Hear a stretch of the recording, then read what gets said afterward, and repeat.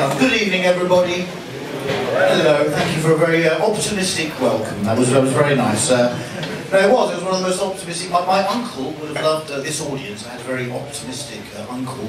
All his life, he had a saying. He used to say, "Always uh, turn a negative into a positive." That's his favourite saying. Um, ironically, uh, that's that's actually what killed him. he was an electrician.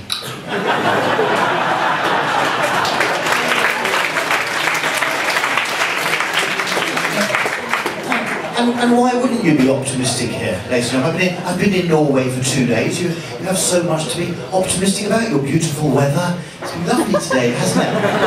lovely? And everything's so affordable. Everything's so affordable and cheap here in Norway. No, I was thinking I might sell my flat in London, and with the money I'll come here and I'll buy a fucking pizza. I tried to rent a car yesterday here in Trondheim. That's not easy, is it? I called Avis. Have you called Avis Rent a Car? When you call Avis, you don't get a human being. A machine, a bloody machine, answered the call and spoke to me, and I had to, I had to answer questions to a machine. I couldn't cope. I called the number, and the mach machine went, "What, uh, what city and country, please?" Trondheim. Trondheim in Norway. Think you said Helsinki, Finland. Is that correct? No, it fucking isn't. Trondheim, Norway. Tro Trondheim, Norway. Trondheim, Norway.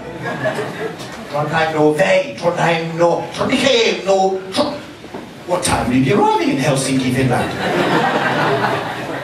so I put the phone down. I thought maybe the problem is my, my, my accent. Maybe it doesn't understand an English accent. And I thought, well, the answer machine is a Norwegian accent. Maybe if I, I try and fake a Norwegian accent, it will understand me. So I call back. What, uh, what city and uh, country, please? Norway, uh, Norway, uh, Trondheim, Norway, please. Trondheim, Norway.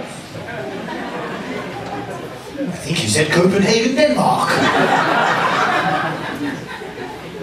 And then I know the problem, I know what to do. I'll call one more time, and this time I'm going to swear, and I'm going to cuss, and I'm going to talk shit, and it will confuse the machine. And they'll have to put a human operator on. So I called a third time. Uh, city and uh, country, please. Stinking ass, stinking ass, stinking, shitty, wankety, fucking, cunty, shitty ass. When will he be arriving in Bergen?